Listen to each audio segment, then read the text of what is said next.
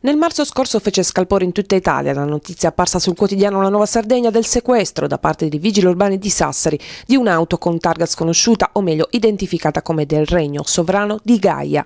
Il proprietario del mezzo è un commerciante sassarese di 49 anni, Giancarlo Gerano, che però nella sua carta d'identità che funge anche da patente si chiama Giancarlo di Tiamat. Ma chi sono i sovranisti e cosa è accaduto dopo il clamore suscitato dal suo caso? È stato un sopruso, una bravata nella quale adesso dovranno rispondere personalmente coloro che hanno agito perché fondamentalmente le istituzioni, comprese i vigili urbani, non esistono, sono stati pignorati già dal dicembre 2012 ma continuano ad operare eh, grazie all'ignoranza della popolazione.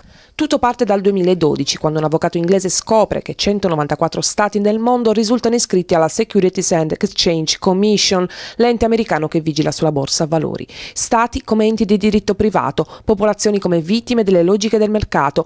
Nessuna confutazione arriva per le sue accuse, con conseguente pignoramento per gli stati disconosciuti e per le banche. Voi non pagate tasse, non pagate multe, non pagate bollette. Le tasse non sono dovute, sono una grande truffa. Le tasse vanno a finire per ripagare il debito pubblico statale, che è un'altra grandissima truffa. È già tutto abbondantemente pagato con i bond o titoli obbligazionari che sono eh, intestati all'atto della nascita ad ogni cittadino. E se Stato e banche non esistono, perché pagare?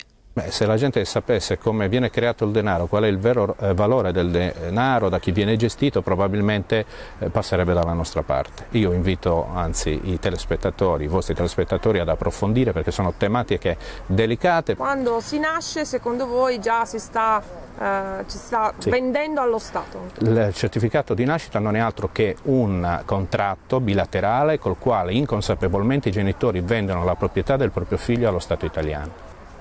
Cosa comporta questo? Comporta che lo Stato può intervenire in qualunque momento, ne abbiamo esempi eclatanti, numerosi in Italia, qualunque psicologo di turno può, a seconda del suo giudizio, portarti via i figli. Cosa volete ottenere? Il cambio di paradigma.